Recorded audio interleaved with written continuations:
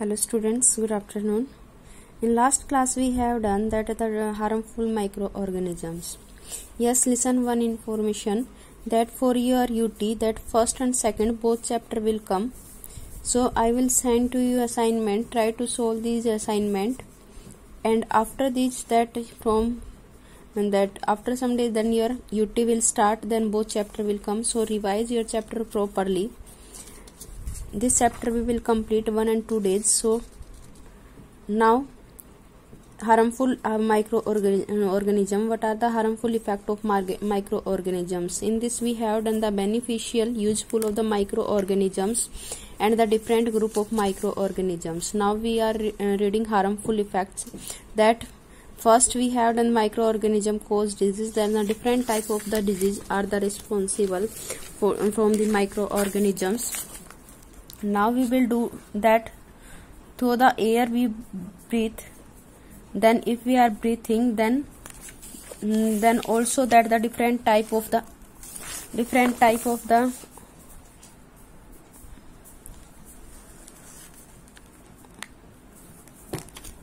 and different type uh, different type of the disease are the responsible for it. Then how they are the responsible then soon we will read about this then first we are reading it.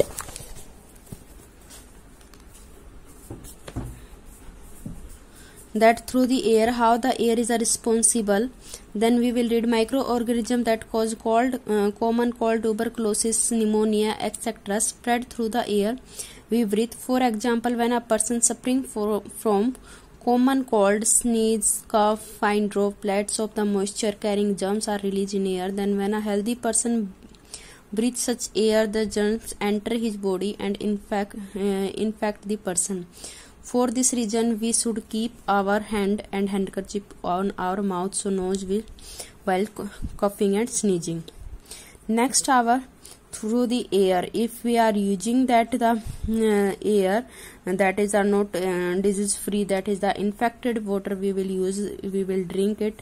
Then also we will the in the uh, responsible for the cause of the disease. So we should use the boiled water properly. That's why we can be away from the microorganism. Effect than the in the boiled water then the uh, microorganism will kill. Then this one some disease spread through the air like this cholera typhoid and the uh, jaundice and the cholera cause microbes enter a healthy person through the water he she drink infect them. And after flood any other natural calamity we are advised to drink boiled water. Why? This is because they are the uh, due to the this one boiled water kills the microorganisms. That's why we should use boiled water. Next through the food we eat. Yes we are eating food that are the responsible for the uh, disease how they are responsible that we should the um, we should eat the fruit and vegetable that should be washed properly after bringing from the market. Now through the insect and animal yes from through insect and animal they are also responsible for the disease causing microbes. These animals insect are called vectors and vectors carry the disease um, causing microbes from infected person to a healthy person cause disease some of vectors are housefly mosquito and that are the responsible for the uh, disease. Housefly that how they are responsible? Because they are the spreading on one uh, food than another another than the if, uh, infected object also they are uh, carrying. That's why they are the harmful. Housefly is perhaps the most dangerous disease carrying it collects the disease causing microbes on its legs, mouth part from the feces and the other organic waste. Then the same housefly when the sit on your exposed food item leave the disease causing microbes on the food then when we consume such food then we get affected so various diseases like cholera typhoid dysentery and the tuberculosis are known to spread by the housefly through the contaminated food and water. So we should avoid eating uncovered food item. We should cover our food properly. That is the free from the housefly because housefly are the responsible for carrying disease. Mosquito mosquito the female anopheles mosquito sucks the blood. Sucks means absorb.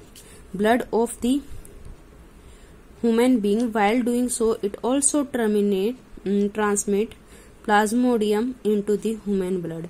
Plasmodium called mal uh, malaria fatal disease Aedes mosquito acts as a carrying of dengue virus. All the mosquito breed in uh, in water hence one should not let the water collect in coolers tires flower pot etc by keeping our surrounding clean and dry we can prevent mosquito from breeding.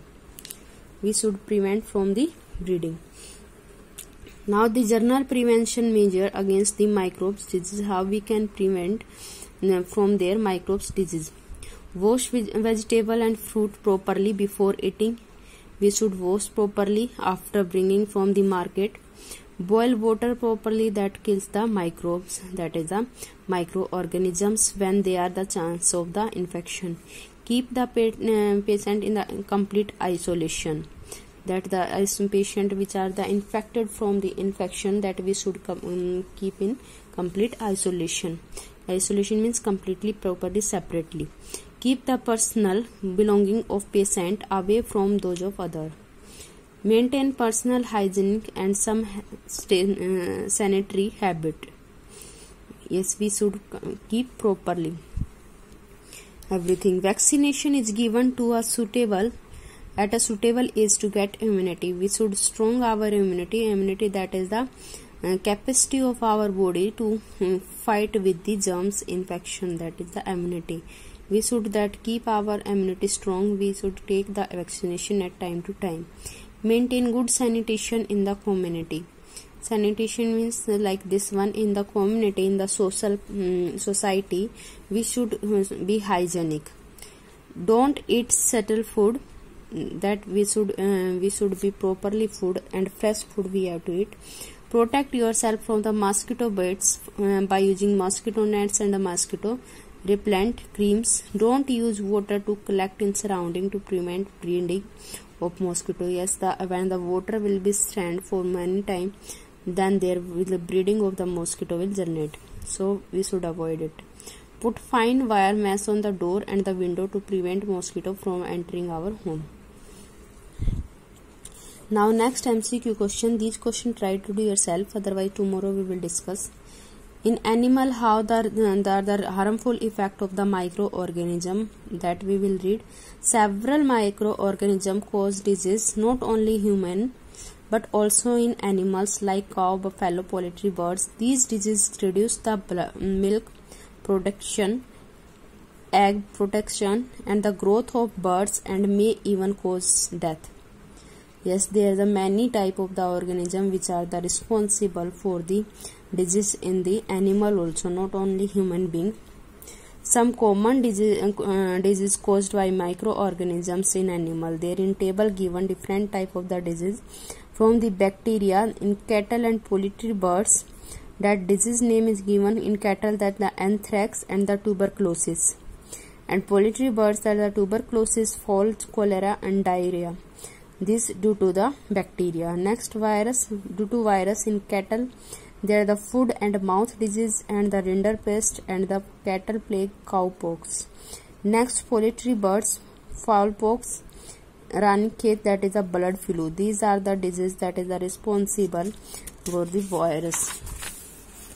In plant not only that some microorganisms are harmful for human being or animal but also for the plant. Several microorganisms cause disease in plant like wheat rice potato sugar cane apple orange cotton jute etc that the disease reduce the yield of crop yes there, there is a production of uh, crop also reduced by this disease.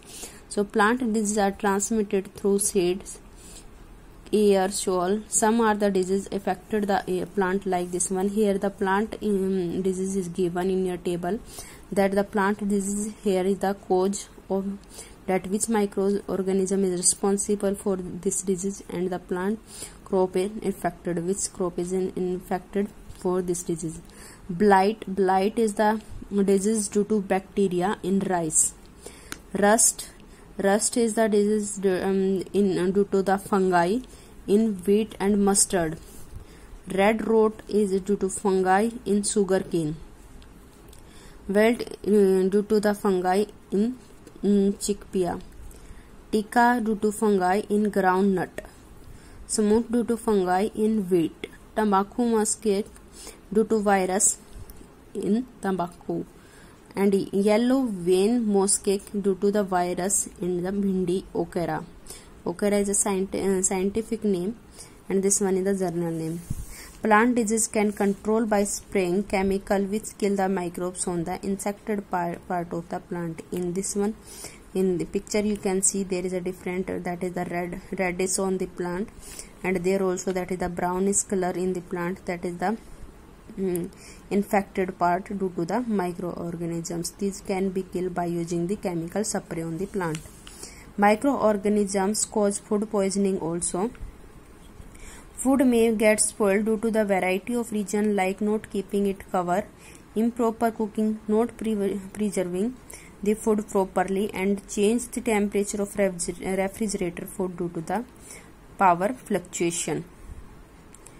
That is a due to the uh, this one uh, microorganisms are res uh, responsible for it. Now after this one microorganisms that grow on our body mm, our food sometime produce toxic substances which are harmful for our health. The toxic substances produced by microorganisms make the food poisoning causing serious illness called food poisoning it can sometimes can even cause death. The spoiled food can identified by its unpleasant smell, changed odor, bad taste and major symptoms of food poisoning are vomiting, diarrhea, abdominal pain, headache and fever. These are the symptoms, sign of the food poisoning. If like this one, if you are feeling that means there is a food poisoning and there is a serious problem due to the that is a toxic substance produced by the mi microorganism on the food. That's why this food after eating these type of the food then the that is responsible for the food poisoning. So bacteria causing food poisoning food poisoning which type of the bacteria are responsible? Salmonella staphylococcus and clostridium that are the responsible for the bacteria Fungi cause food poisoning that is the aspergillus and the penicillium. So it is very important to preserve our food to prevent it from beginning spoiled and there are the many way of the food preservation. That how we can preserve our food that is a different way how we can preserve food. That most uh, most organisms can't grow and multiply when the conditions are dry temperature is low temperature is high. All method of the food uh, preservation ensure that the favorable condition that are the not provided for microorganisms to grow and multiply. That the food uh, preservation is what? That the spoilage of food prevented using the chemical and physical method is called food pre preservation. Food preservation means how we can preserve our food how we can save our food properly that are the we can avoid the food poisoning. That's are the different physical and chemical method. By using chemical method by preserving common salt preservation by sugar by oil and vinegar by um, cooling or freezing canning or vacuum packing preservation by heating by dehydration. These are the different cause of the food preservation how we can preserve our food so this paragraph read yourself. Tomorrow we will do next topic. Up to this topic you have to read properly. Okay